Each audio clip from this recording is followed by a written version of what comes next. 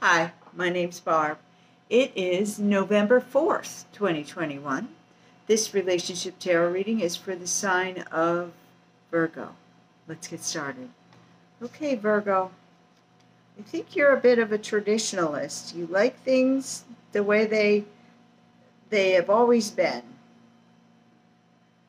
But things are coming to light necessarily bad things. You are absolutely offering your heart to someone. But there's a choice involved. I wonder if maybe there's not two someones that you're thinking of. Your person. They're driving this relationship. They are in charge. They are they are starting to transform a little. Um,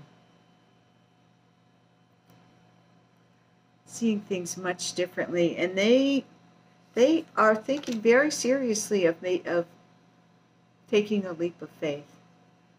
Looks like with you. You are going to get your advice is. Um, I think you need to tell this person how you feel if, if they don't know already. And sometimes, even though you think you've already told them, maybe you haven't in a way that they understand. Do it. This is the outcome. Can you see it? It's a sun card. It's probably the happiest card in the deck. Everything's going well. The sun's shining. Birds are singing. Just wonderful energy.